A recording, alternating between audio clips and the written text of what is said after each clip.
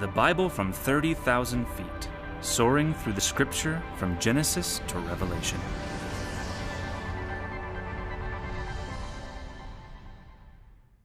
So turn in your Bibles to the book of Isaiah, or we should say Ishiau. Can you try to say that with me? Ishiau.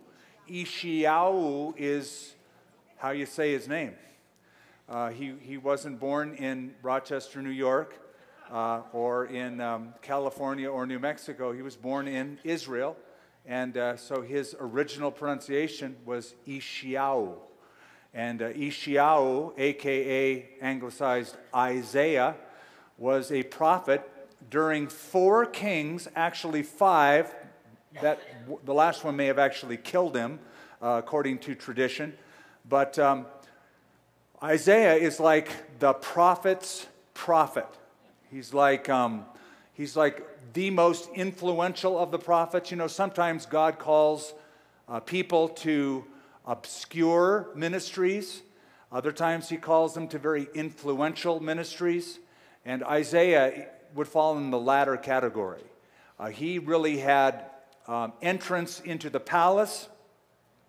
Uh, some uh, Jewish traditions hold that he was actually part of the royal family, uh, if not at least an aristocratic family in Jerusalem. So well known, well connected.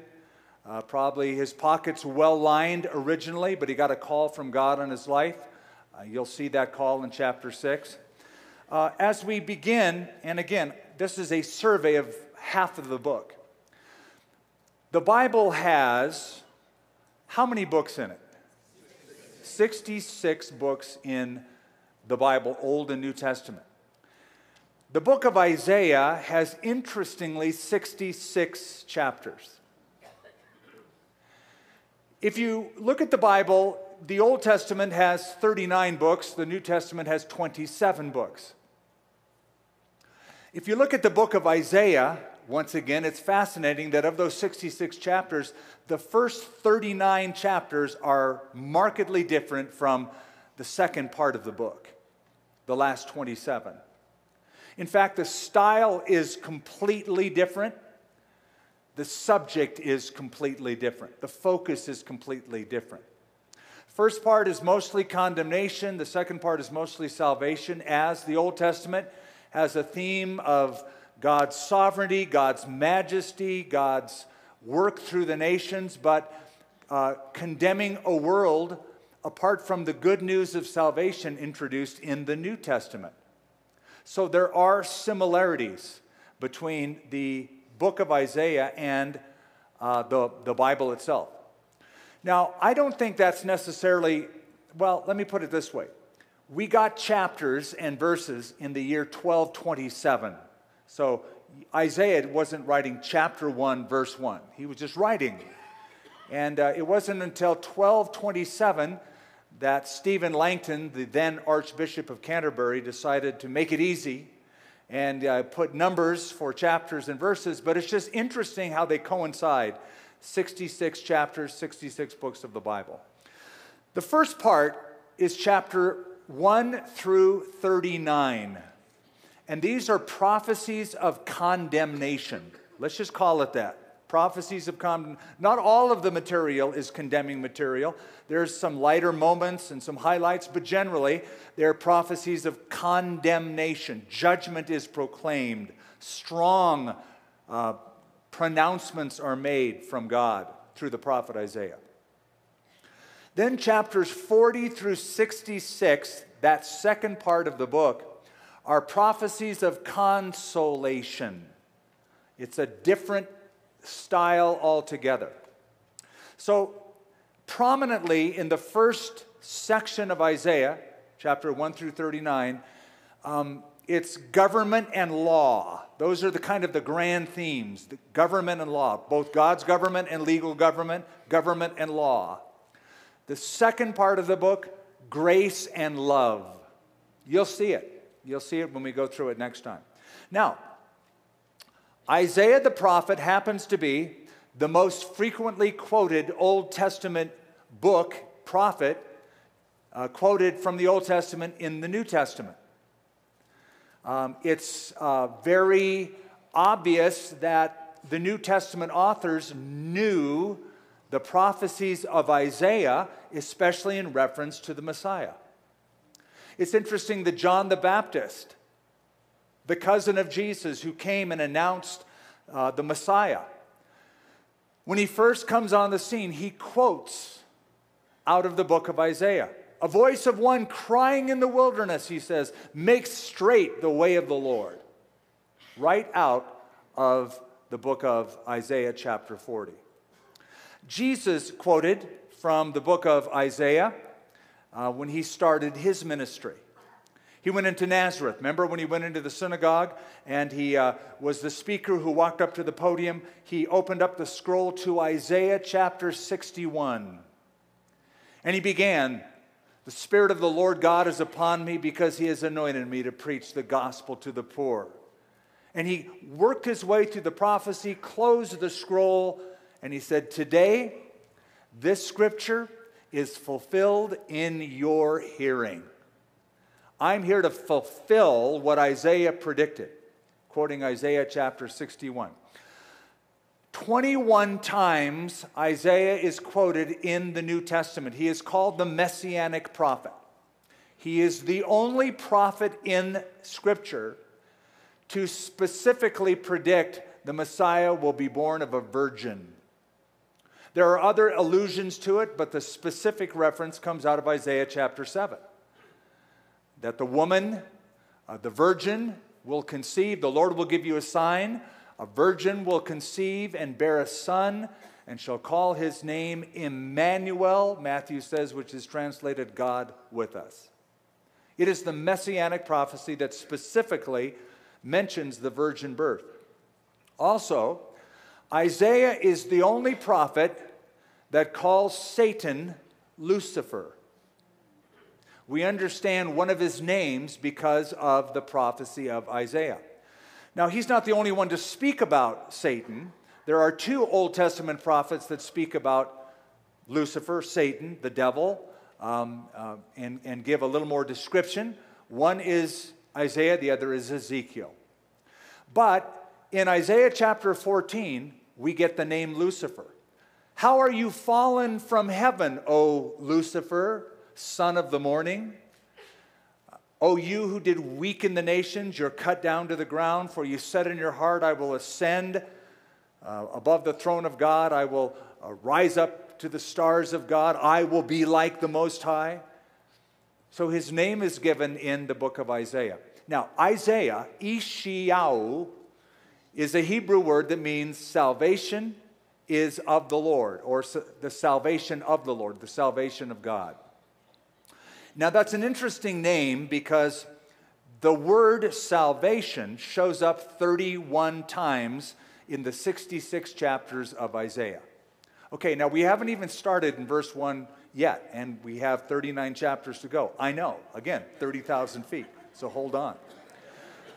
Um, some people, Dr. Collins was mentioning that Isaiah was written by Isaiah. He said that.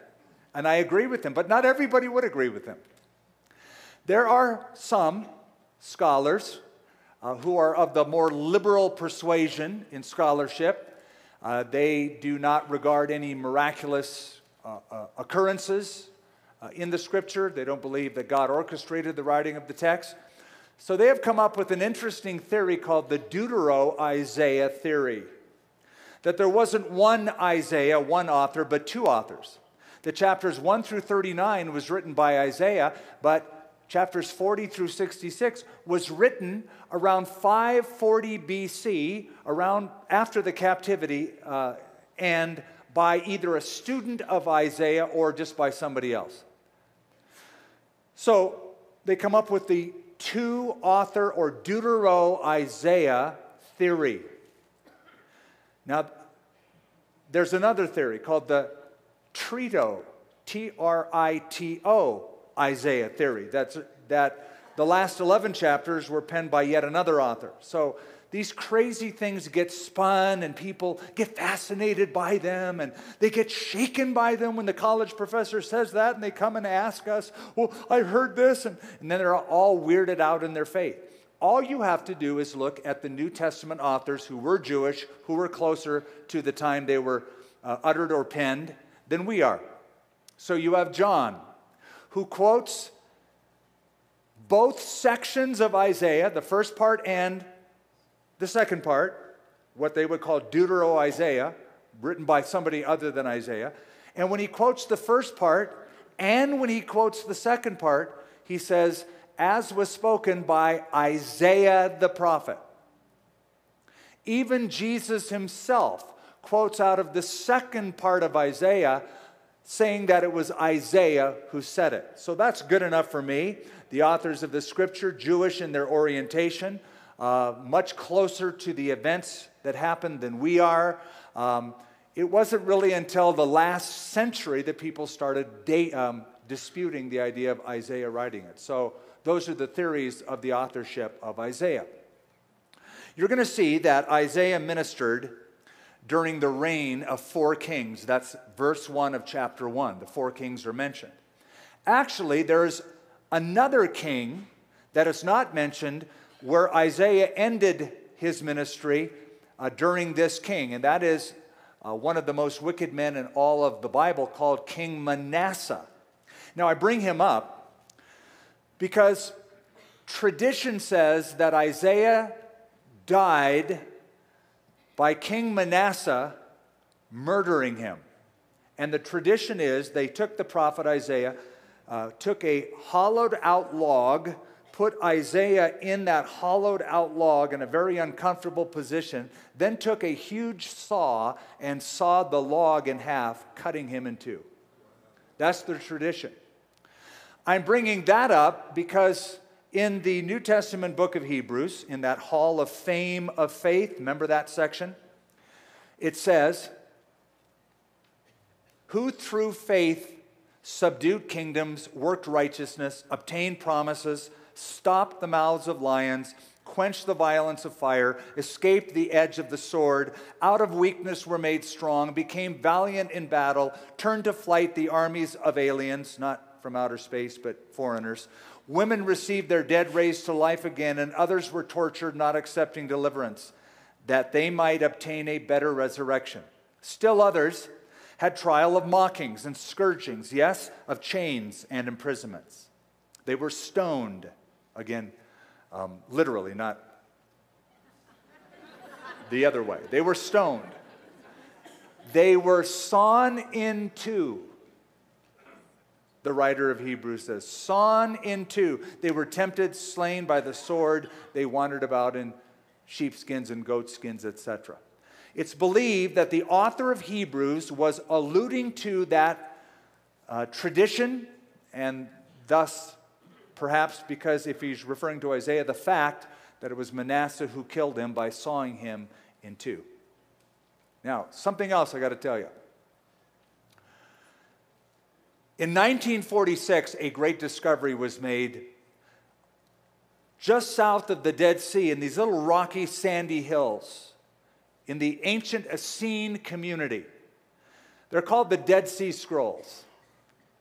The scroll of Isaiah itself was found 24 feet long, a single huge scroll.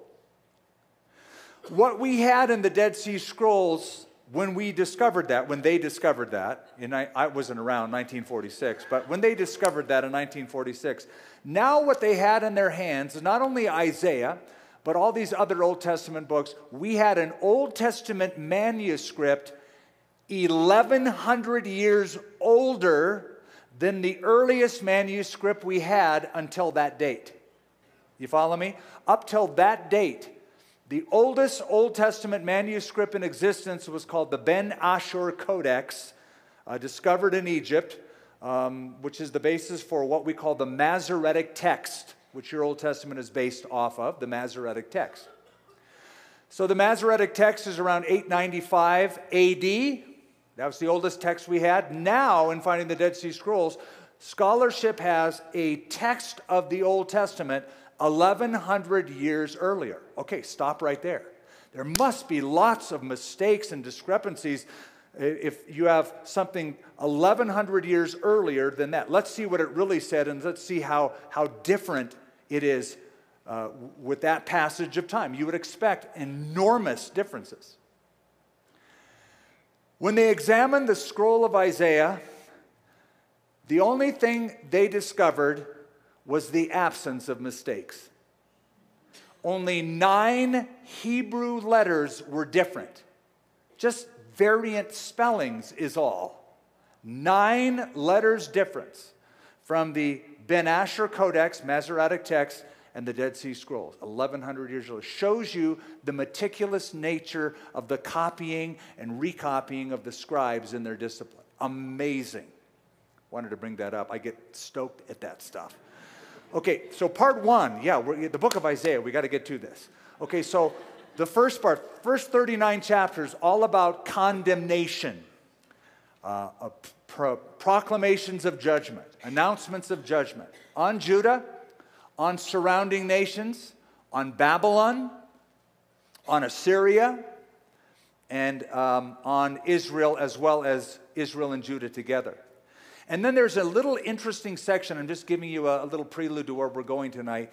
There's this little intermission uh, that is four chapters long, uh, chapters 24 through 27, uh, which I'm just going to whet your appetite with now, and I'll explain it as we get to it. One of the notable features of all prophecy, and it's seen in Isaiah, though we're not going to be able to really uncover this, we have done it in the past, is the near far fulfillment. Are you familiar with that?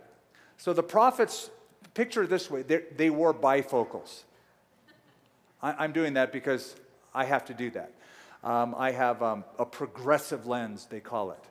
It's, it's progressive in that, you know, it's just sort of, uh, you can see up close, but then as you uh, go work your way up to the top of the lens you can see at a distance and, and, i find that i need that or i need the contacts i have in my head right now one to focus on up close one to focus at a distance. That's how the prophets often wrote. They were with one um, part of their meaning part of their vision. They were focusing up close on something that would happen in the very near future uh, given the circumstances around them at the time. And at the same time, like a variable focal length on a camera, uh, they could zoom out to the future. So, in one breath, they might say something's going to happen in a few years, and it did, but then that becomes a template of a greater fulfillment, and it's obvious by the context that it is uh, far reaching, uh, sometimes worldwide. Uh, etc. So there's a near far fulfillment. The prophets did this a lot. It's one of the uh, particular um, aspects of Hebrew prophecy. So, Isaiah chapter 1, verse 1. We begin with the denunciation against Judah. Do you know what I mean when I say Judah? Do you know what I mean when I say Israel? Uh, once again, let me give you the delineation. Judah is the name not of just the tribe, but now when I say it in Isaiah, I'm speaking of the the southern kingdom of two tribes, Judah and Benjamin. When I say Israel, I don't mean all the 12 tribes, I mean 10 tribes that are up north, the rest of the 12 tribes. So 2 and 10. Israel is the 10 tribes, Judah are the two southern tribes. Judah is the southern kingdom. Isaiah is a prophet to the southern kingdom, those two tribes. And this is a denunciation of Judah for their failure to trust God. Verse 1 the vision of Ishiau or Isaiah, the son of Amoz, not the son of Amos. Amos was a prophet. By the way, he was a prophet concurrent to Isaiah. He was a contemporary of Isaiah, but he's preaching to the northern kingdom, so he's not around. Amos is somebody different. We don't know anything about him other than his name. So Isaiah was the son of Amoz, which he saw concerning Judah and Jerusalem in the days of Uzziah, Jotham, Ahaz, Hezekiah, and it describes them as kings of Judah. Why is that important? It tells us how long this dude's ministry was 50 years in the pulpit. Isaiah preached for about 50 years. He influenced the nation for 50 years. I know I've only made it through one verse. Bear with me. Uh, you were hoping that I would do it in three weeks instead of two. You might get your wish. Um, when you think of a prophet, you think of them foretelling the future, right? That's only part of prophecy. The other part of prophecy is forthtelling speaking forth at, at the um, circumstance, at the time of need the nation was going through. It would be a message of God speaking forth to the nation about what they were going through. Isaiah isn't just foretelling their future, but he is forthtelling their failure. Their failure to obey God. Now, what do I mean, failure to obey God?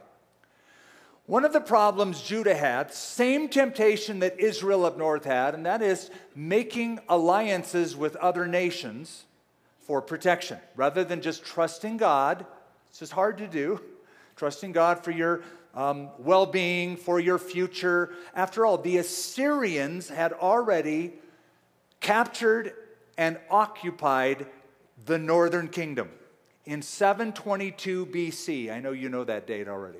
We've gone through it. 722 BC, the Assyrians uh, took over and occupied the, the northern kingdom. 150 years later, uh, the southern kingdom is still a free nation. They're not under the Assyrian occupation, but the Assyrians are marching toward them. So, uh, they are facing the temptation to go make an alliance with a big superpower down south called Egypt. If, if you'll be our friends, uh, we'll sign a treaty, we'll give you a bunch of money, and then if the big bad Babylonians come and start wanting to beat us up, you be the big brother who beats them up. Deal? Deal. That's, how, that's, that's the alliance. The northern kingdom tried that and failed. They did make an alliance with Egypt. 722 BC came along, the Assyrians still took them over. Isaiah is speaking to the south, telling them, don't make the same mistake. Verse 2 Hear, O heaven, give ear, O earth, for the Lord has spoken. I have nourished and brought up children, and they have rebelled against me. The ox knows its owner, the donkey its master's crib, but Israel does not know. My people do not consider. Alas, sinful nation, a people laden with iniquity, a brood of evildoers, children who are corrupters. They have forsaken the Lord they have provoked to anger the Holy One of Israel. They have turned away backward. Verse 12 When you come to appear before me, who has required this from your hand to trample my courts? Bring no more futile sacrifices. Incense is an abomination to me. The new moons, the Sabbaths, the calling of assemblies. I cannot endure iniquity and the sacred meeting. Your new moons, and your appointed feasts, my soul hates. They are a trouble to me. I am weary of bearing them. What's all this about? What is God referring to through Isaiah? He's speaking about all the prayers, all the religious feasts, all the sacrifices that God established. Do you get that? God told them to do it. Now God says, oh, when you do it, it stinks. Well, wait a minute. You're the one that told us to do that stuff, to make those sacrifices, make these prayers, go to the temple courts, bring the animals. Now you're saying, don't trouble me with that stuff. You know why? Because God never separates the worship you bring and the worshiper who brings it. We separate that. We try to compartmentalize that. This is who I am when I come to church. This is who I am really in the real world. God says, I see you all the time. I don't separate your worship from you, the worshiper. I know how you're living, but then you're being religious when you come to the temple. And God says, I've had enough. When you spread, verse 15, out your hands, I will hide my eyes from you. Even though you make many prayers, I will not hear. Your hands are full of blood. Verse 18, here's the answer Come now, let us reason together, says the Lord. Though your sins are like scarlet, they shall be white as snow. Though they are red like crimson, they shall be as wool. Isaiah, from here onward, launches into a series of sermons denouncing the sins of the people and the sins of their leaders. I want you to go to chapter 5 to a familiar passage. Verse 1 Now let me sing to my well beloved a song of my beloved regarding his vineyard. My well beloved had a vineyard on a very fruitful hill. He dug it up, cleared out its stones, and planted it with the choicest vine. He built a tower in its midst. He also made a winepress in it. So he expected it to bring forth good grapes, but it brought forth wild grapes. And now, O inhabitants of Jerusalem and men of Judah, judge, please between me and my vineyard. Here's a picture of God planting a vineyard, giving every opportunity to the ground to produce fruit. But it is fruitless. So he's not going to continue to work it. And he asks the people listening to this judge between me and my vineyard. What should be done? This should ring a bell. It should ring a bell because Jesus gave a parable called the parable of the vine dressers. Do you remember that parable in Matthew 21? He said to the crowd one day, Let me tell you a story. There's a guy who owned a vineyard and he put a hedge around the vineyard and he planted it with the choicest vine and he built a wine press in it and he even put a tower on it, you know, as a lookout tower. So he just dolled the place up. Then he rented it out to tenant farmers. And about vintage time, he decided, you know, I want to see how that vineyard is doing and take some of its fruit. That was his prerogative. So he sent servants to go gather some of the product. And Jesus said, when they came, those servants were beaten up, stoned, and killed. So he sent more, and they did the same. Finally, the owner said, I know what I'll do. I'll send my own son. Surely they'll respect him. As soon, Jesus said, as they saw the son, they said, That's the heir. Let's kill him. And the inheritance will be ours. And Jesus asked them to judge what God should do. And they all say, "You got to destroy those people and give it to others. And Jesus basically said, Okay, you'll get your wish. He's going to take it from you, Israel, and give it to the Gentiles, which caused quite a reaction the scripture says they perceived that he spoke this parable against them. They knew this parable. That's why they perceived it was against them. He is using the very words of Isaiah to give that parable in Matthew 21. So, Isaiah is painting a very bleak picture, but not a hopeless one, because in the midst of the mess comes a messenger. I like that about God. We say, Oh, the world's so dark, what a mess awesome time, great opportunity, perfect timing for a messenger. Send a messenger in the midst of the mess who brings the message of light. And so the messenger is Isaiah the prophet. Chapter 6, his calling comes to us as God gives him a vision of his majesty to prepare him, the prophet Isaiah, and to prosecute them the people of the land. Verse 1 In the year that King Uzziah died, a very significant little phrase. Now we can date this prophecy. 739 BC is when King Uzziah, good king, who had reigned for about 52, 51, 52 years, brought great reforms. But the good king is dead. And when you have a good leader who's been a good leader and brought economic uh, um, uh, stability and righteousness for 52 years, when that leader dies, people have a tendency to go, oh no, now what? Now we're lost. Now we're toast. The throne is empty. And probably Isaiah was thinking, oh man, the throne is empty. So God gives him a vision of his own throne. In the year that King Uzziah died, I saw the Lord sitting on a throne. high and lifted up, and the train of his robe filled the temple. Above it stood seraphim, angelic beings. Each one had six wings. With two, he covered his face, so they couldn't look directly at God. With two, he covered his feet, acknowledging the lowliness of their position before God. And with two, he flew. How fun would that be? And one cried to another and said, Holy, holy, holy. He's not just holy, and he's not just holy, holy, he's holy, holy, holy. This is called the trisagion, or the thrice repetition of the word holy, acknowledging his supreme holiness. Holy, holy, holy is the Lord of hosts. The whole earth is full of his glory. And the posts of the door were shaken by the voice of him who cried out, and the house was filled with smoke. And so I said, Woe is me. Now, Isaiah was influential. Isaiah perhaps was even royalty. Certainly, he was upper echelon, upper crust, blue blood. So it would be easy for a guy like Isaiah to go, Wow is me.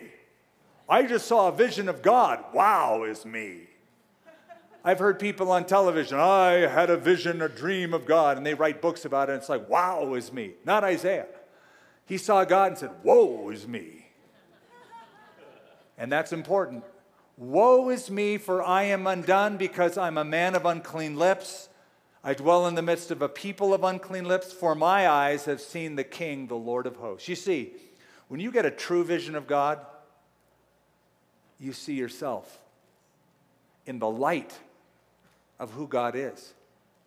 And it's never, wow is me, it's wow is God, but woe is me because I see myself next to him.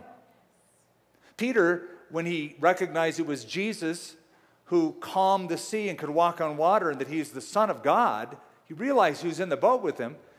Peter just said this Depart from me, Lord, I'm a sinful man. Not, get a, get a picture with me and Jesus. I'm going to post it. I, I, I don't, I'm not even fit to be seen with you. Then one of the seraphim flew to me, having in his hand a live coal which he had taken with the tongs from the altar, speaks of cleansing from sin. And he touched my mouth with it, and he said, Behold, this has touched your lips. Your iniquity is taken away, your sin is purged. Special cleansing for special service. He's called to be a great prophet. So I heard the voice of the Lord saying, Whom shall I send? Who will go for us? Then I said, Here am I send me. So, this important vision in a leaderless kingdom, God is still in charge on the throne, sending a messenger with a message in the midst of the mess.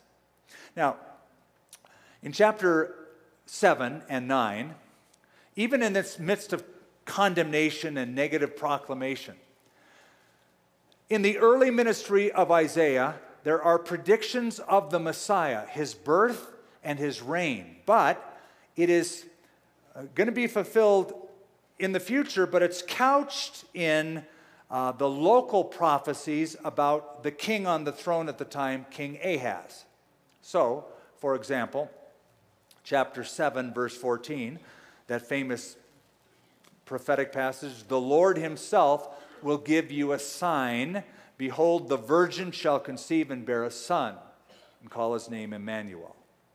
That's chapter 7. That's the famous prophecy. Followed by chapter 8, where we have the birth of Isaiah's own son, his second son, with the longest name of any kid ever Maher Shalal Hashbaz. Poor kid. You know, Johnny Cash used to sing that song, A Boy Named Sue. How about a boy named Maher Shalal Hashbaz? You think he would be made fun of? Yeah, I bet he was. Um, it's an odd name, and if you're looking for biblical names, please skip that one. It'd be an odd baby dedication. But the name Maher Shalal Hashbaz means speed the spoil, hasten the booty. And it's a, it's a, the name of the son was a prophecy of the coming judgment, that they're going to despoil uh, the surrounding region of Jerusalem and Judea. Judgment is coming soon, in other words. Followed by chapter 9, so you got 7, 8, and 9, another messianic prophecy, chapter 6, For unto us a child is born, unto us a son is given, the government will be upon his shoulders, and it's over the house of David, etc. So you have this kind of mix of local and far off, hopeless, hopeful prophecies all in one. John Phillips, who um, wrote commentaries, his comments on this book, he said this one moment, his book is black with the thunder and darkness of the storm. The next, the rainbow shines through, and he sweeps readers on to the golden age that still lies ahead. Get used to that near and far stuff. Isaiah does it a lot. Again, we see in chapter 11, verse 1, great prediction of Jesus. There shall come forth a rod. My Bible has a capital R. Does yours? R, rod, because the, the translators are saying we believe this refers to a person, the, the Messiah, Jesus. There shall come forth a rod from the stem of Jesse. A branch shall grow out of his roots. Jesse, the father of David, David, whose dynasty God promised blessing and eternal kingdom to. David, the tree of David, almost cut down, right? Because the kingdom was divided, split, uh, two down south, 10 up north. Now there's a threat of captivity. The 10 northern tribes are already gone into captivity. Now Judah is threatened with captivity and will indeed go into captivity. So if you were to look at the lineage of David and the promises God made to King David as a tree, man, that tree got chopped down. But go down to that stump and look really closely at that stump, and you'll see this little stem just poking up through that dead wood, it would seem, but not dead. A little stem, a little rod coming up. What's that? There's still life in it. And that life will blossom one day. There's going to be a branch, and that branch is the Messiah, the son of David, the offspring of King David. And you say, well, how do you know it, it, it speaks of a person? You know, maybe it speaks of the nation because of verse 2 the Spirit of the Lord shall rest upon him, singular. The Spirit of wisdom and understanding, the Spirit of counsel and might, the Spirit of knowledge and the fear of the Lord. So here is Isaiah predicting a future restoration under this branch, under the Messiah. Chapters 13 through 23 are a bunch of burdens, they're called in the scripture burdens, the burden against this nation, the burden against that nation. A burden is a pronouncement, it is an oracle. Um, Isaiah got a message from God. It weighed on him, it was a burden to him, and he unbore, un, unleashed his burden on the people. He was faithful to, to give it to them. So uh, there's nine nations I'm just going to read through them, just brush through them. Nine burdens with nine nations. Here's the deal about these nations all of the nations mentioned are nations that had some contact with the nation of the Jews, Israel and Judah. Let's just call it Israel here. They touched Israel, usually negatively. They hassled the Jews. So God said, I'm going to hassle you. You hassle Israel, I'm going to hassle you. So, chapter 13, verse 1 the burden against Babylon, which Isaiah the son of Amoz saw, followed by Assyria and Philistia, chapter 14, followed by chapter 16, Moab, um, eastern side of the Jordan River, uh, followed by Damascus up in Syria, a superpower, chapter 17, followed by Ethiopia in chapter 18, the burden against Egypt in chapter 19, the burden against Babylon again, and Edom in chapter 21, and then chapter 23, the city of Tyre. Now, as I go through this list, you know what comes to my mind? What we read in the book of Ecclesiastes. There's nothing new under the sun. These are the nations still hassling the Jews. To this day, many of them would love to see Israel annihilated completely, calling Israel the great Satan and the United States the little Satan. Not all of them, but many of them. They're occupied by people who deny the legitimacy of Israel to exist. Now, why are these burdens given? Answer probably to reassure the Jewish people in the midst of conflict, later on, in the midst of captivity, that God still is on the throne, that God still has a plan. He's, he's re- reassuring them of that great promise in Genesis chapter 12 whoever blesses Israel, I will bless. Whoever curses Israel, I will curse. So, he's saying, don't despair. I'm going to punish Israel and Judah, the Jews. I'm going to punish them. But then I'm going to punish the people I used to punish them because they are still responsible. They are the ones saying, let's get rid of those Jews. Let's mount um, siege engines against them and let's annihilate them and destroy them. So that is in their heart to do that. I'm going to hold them responsible for their choice, but in their choice, because I'm God and I'm sovereign, I'm going to actually use them as a chastening rod for my people. Do you understand? So, if, if you don't, let me reinforce that with the prophet Habakkuk complained to God that his own people, the children of Israel, were sinful and bad and doing wrong things. And God, you ought to punish them. So God says, Well, Habakkuk, since you're bringing it up, I want you to know that I'm going to do something that's going to cause your ears to tingle and everybody else who hears about it. I'm actually bringing the Babylonians as my chastening rod to take your people captive. I am going to do something about it. Then Habakkuk gets all mad again at God. God, I know we're bad, but they're worse. Why would you use somebody worse to get at somebody bad? Because it's going to work. It's going to work. It's going to cause repentance, and I'm going to bring you back into the land. And for their sin of wanting to destroy you, don't worry, I'll get them. It's an amazing display of God's sovereignty. So it's sort of like this let's say I break into your house. I never would. But for the sake of analogy, you see, hey, Pastor Skip is breaking into our house. and so you call the police. Right, rightly so. You call them to protect yourself. But when the police come to arrest me to protect you, they discover in your house a meth lab. now it's different.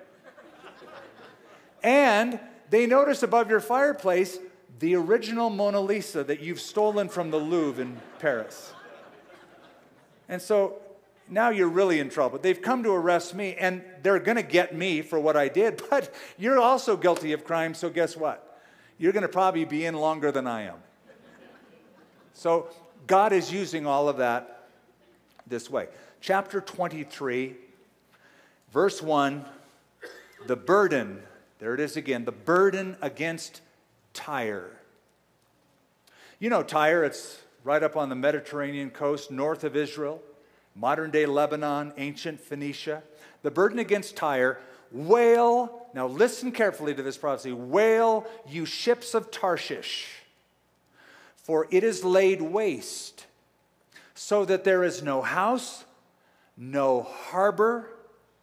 From the land of Cyprus, it is revealed to them, be still you inhabitants of the coastland, you merchants of Sidon, that city next to Tyre, whom those who cross the sea have filled.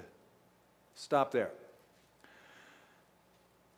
After this prediction was made, Tyre, the city of Tyre, was besieged five times.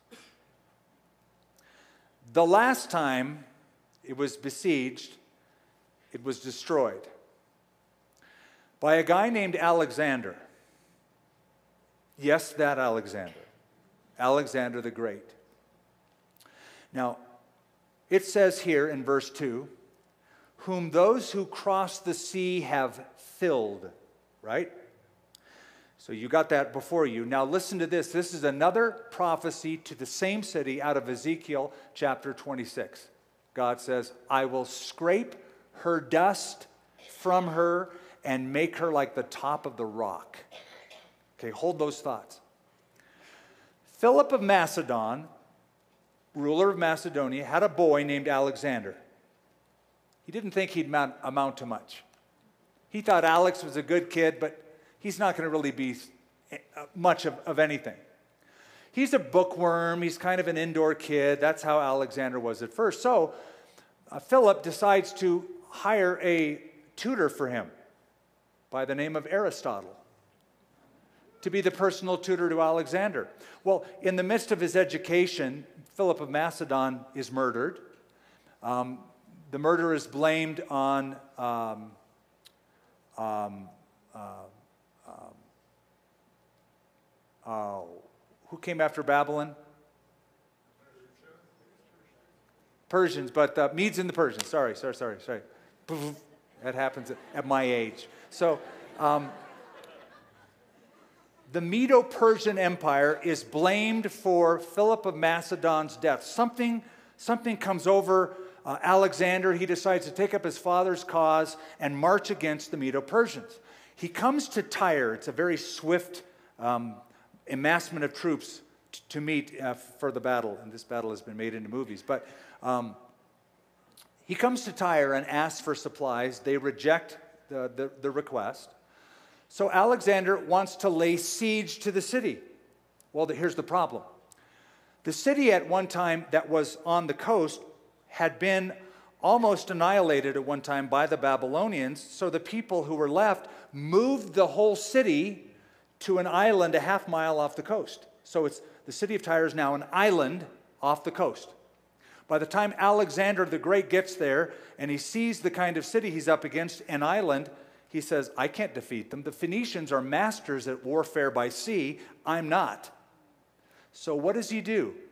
He builds a causeway, he builds a jetty using the materials from that city that had been destroyed. He essentially scrapes the dust and all the materials off of the city, piles it in the sea, makes a jetty, and attacks and destroys the city of Tyre. So again, you merchants of Sidon, whom those who cross the sea have filled. And then Ezekiel 26, I will scrape her dust from her and make her like the top of the rock. I'm going into this detail for this reason. It should make you think logically that if events predicted in the past have been fulfilled to that degree of accuracy, whenever you read future predictions yet unfulfilled, you should sober up and take them to heart. It's the Word of God. And if God can do that and speak of these things in advance, then the rest of it you can take to the bank. And this is God's calling card. Isaiah 46 said, God says, I am God, there is no other. I am God, there is none like me, declaring the end from the beginning and from ancient times, things that are not yet done. That's, that's the awesome nature of prophecy. Well, in the midst of the prophecies of condemnation comes this little section I told you about, this intermission, the next four chapters, chapters 24 through 27. It's a parenthetical set of chapters. Think of it as a pause. Think of it as um, an intermission in a movie so you can get up and get popcorn, okay, and come back. It's an intermission scholars call Isaiah's little apocalypse. The language now becomes more vague, more worldwide, more all encompassing than the previous chapters. And they interface um, with, they parallel with what occurs in Revelation chapter 6 through 20. Uh, the Great Tribulation period on into the millennial kingdom, the, uh, from the tribulation into the kingdom age. So it, it speaks here about the day of the Lord, and the day of the Lord is the eschatological day of the Lord, that future ultimate day of the Lord in the tribulation period. Jesus said in Matthew 24, then there will be great tribulation, such as not been since the beginning of the world until this time, no, nor ever shall be. In this little pericope, this little set of verses, this parenthetical statement, is that little apocalypse. Chapter uh, 24, verse 1 Behold, the Lord makes the earth empty, makes it waste, distorts its surface, scatters abroad its inhabitants. Verse 4 The earth mourns and fades away, the world languishes and fades away, the haughty people of the earth languish. Earth is mentioned in that passage that I just read three times. It's alluded to five times. In the whole set of chapters, it's mentioned frequently. God is judging the earth. There is today, I'm going to call it an environmental atheism. Mother Earth. Respect your mother, the bumper sticker says. And it has a picture of the earth on it. Ever since 1970, I think April 22nd is Earth Day. Hey, you know what? I'm all for being a good steward of what God put in our hands. I'm all for taking care of the earth because it's a stewardship, it's given by God. I believe in creation care, but not to the point where it becomes idolatrous and we worship Mother Earth uh, or, or Mother Nature, as she is called. We're simply stewards. And I'm bringing this up because you need to be forewarned if you're an earthbound, earth worshiping, whatever, that yes, we have messed up the earth. But let me just say if you think we've messed it up, where do you see what God does with it? He will absolutely trash this planet in the tribulation period. And it's his prerogative. You know why? The earth is the Lord's, the Bible says, and the fullness thereof. So there's going to be a point, and it's fleshed out in detail, um, more detail in Matthew 24 by Jesus, but certainly the great detail of book of Revelation, chapter 6 through 20, that, that day of the Lord. Verse 19 The earth is utterly broken down, the earth is split open. Uh, the earth is moved exceedingly. The earth shall reel to and fro like a drunkard. It shall be removed like a cottage. The transgression thereof shall be heavy upon it, and it shall fall and not rise again. I don't want to belabor this. Some scholars see in this a possible polar shift, which many scientists say is a possibility. Uh, it, it's an interesting possibility. I don't know if I'm going to go that far, but I do know that in the tribulation period, there's the kind of cataclysms that are described are, well, monumental, right? Where huge population bases of the earth are decimated because of the natural phenomenon taking place uh, on the earth. Um, if you were to look at the moon through a telescope, you suddenly realize that our universe is not docile. You look at the surface of the moon and you see the pockmarks from all the activity of, you know, things slamming into it, making all those craters, right? When you see on the moon, they're pretty sizable. Now, the Earth has been called um, the inhabitable zone, that in the universe there's just a strange thing about where the Earth is positioned in the alignment of the planets. It's, it's like it's been protected from the kind of cosmic battering that uh, others, even our moon, have experienced. But if we just go a few miles west, over the border, there's the Barringer crater, which is a mile wide, 500 some feet deep, that is put there by a single asteroid at some point in history past. That hitting of the earth caused such a devastation as can be seen, and I encourage you to go see it at some point. It's amazing. The surface impact that created that great Barringer crater is or was 40 million tons of TNT's worth of surface impact. In other words, when that asteroid hit the Earth, it created the kind of blast equal to a thousand, 1,000 times greater destructive power than the bombs that went off at Hiroshima and Nagasaki put together. In Revelation, the book of Revelation, one of the judgments on the earth is great hail from heaven fell upon men, and each hailstone will weigh a talent. A talent is 125 pounds. Some of you remember those old ice houses. I used to work in one as a kid. You could get 25 pound blocks of ice for a couple bucks. Anybody remember those? no? Okay, so I do. And uh, it was at, at Hugo's Delicatessen where I worked. and uh, I'd go out there and chip off the ice blocks and sell it to a customer. 20, and there's, man, they're like sizable chunks of ice.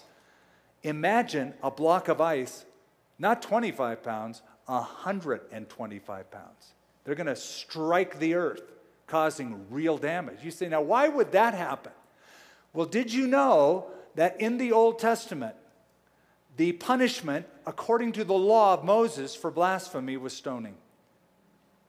It's as if God is saying, because of the unrepentant blasphemy that will fill the earth, God is stoning the earth for it.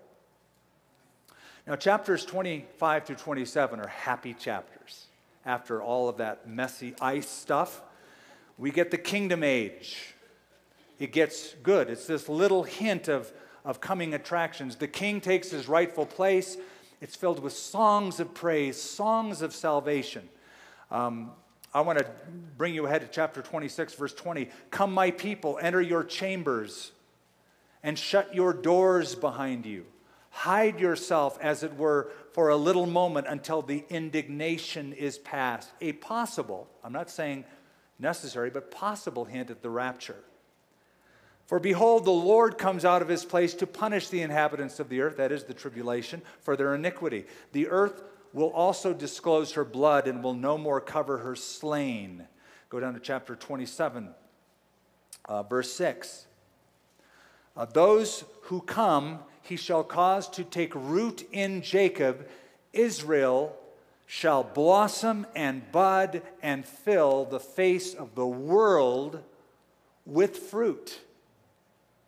This is a prophecy of the kingdom age, the millennial kingdom, the thousand year kingdom age that the Bible speaks about, mentions in Revelation, but really is detailed in the book of Isaiah.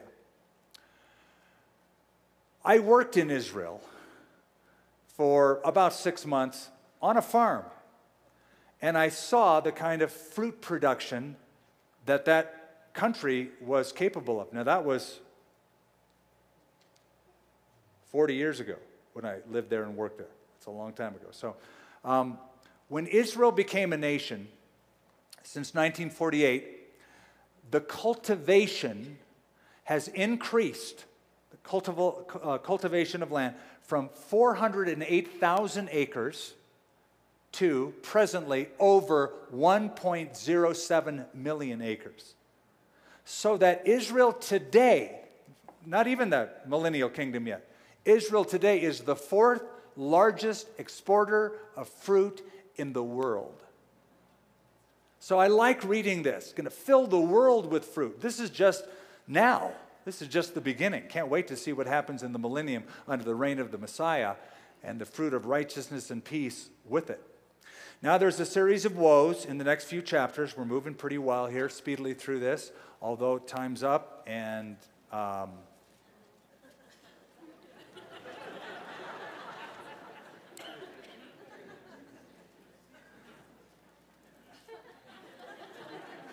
Woe is me if I keep going and violate my promise to you. So, so I'm going to heed the woe and go, whoa, right, slow down, and, and we'll, uh, we'll pick up the rest next time, shall we?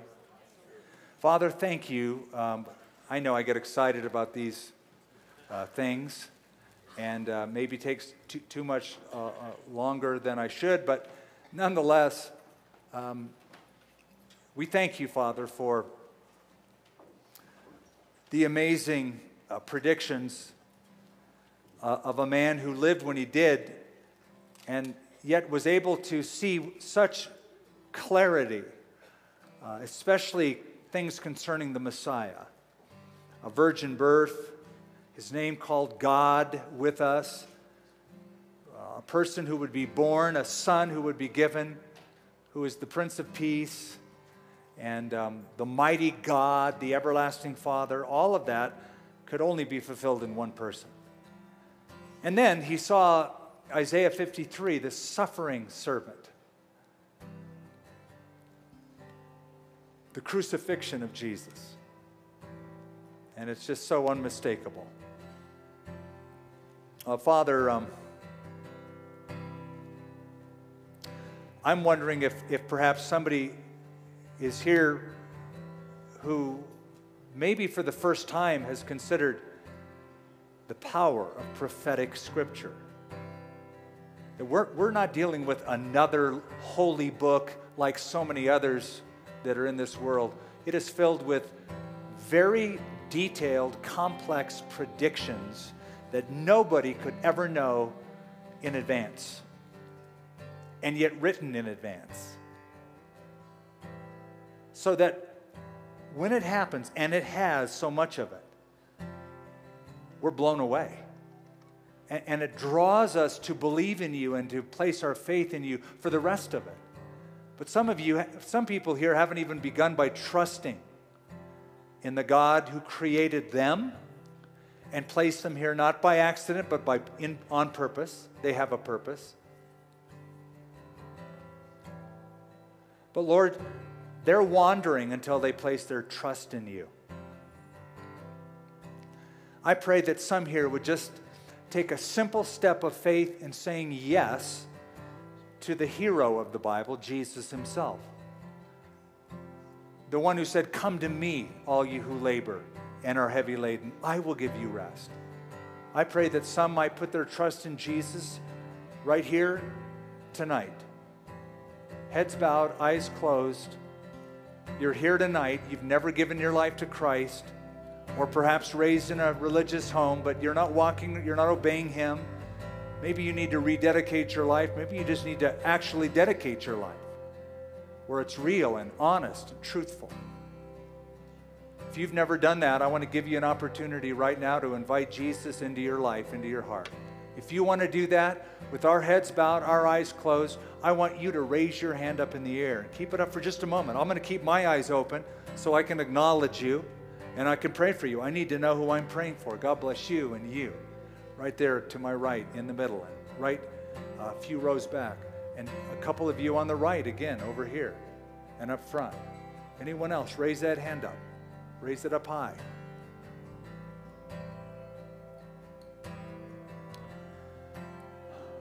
Father, we just thank you for these. Pray that you give them the strength to live for you. We pray that you will change these lives.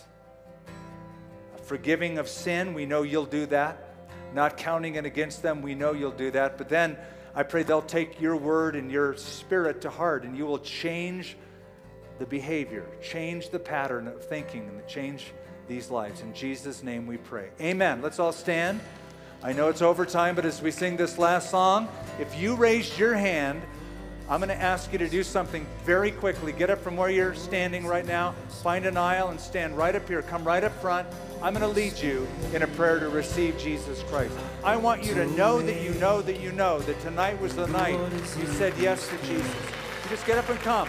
You raise your hand in the front, in the middle, on the side. I'm going to wait for you. I'm going to wait for you till you come, but you get up here and make that stand for Jesus. You can hear the encouragement of those around you. Yeah. So good. Yeah. Awesome. Come on up.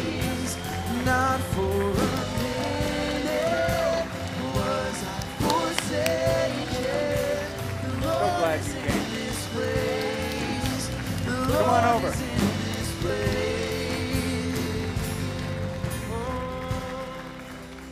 Now, those of you who have come, now's the moment. I'm going to lead you in a prayer to say, Jesus, come into my life. Now, this is you talking to God.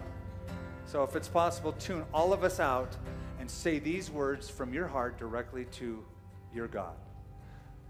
Say, Lord, I give you my life. I know I'm a sinner. Please forgive me. I believe in Jesus, that he came from heaven, that he died on a cross, that he shed his blood for me, that he rose again. I turn from my sin. I turn to Jesus as Savior and to live for him as Lord. It's in his name I pray. Amen. Come on. That's so good. We hope you enjoyed this message from Skip Heitzig of Calvary Church. For more resources, visit calvarynm.church. Thank you for joining us for this teaching from the Bible from 30,000 feet.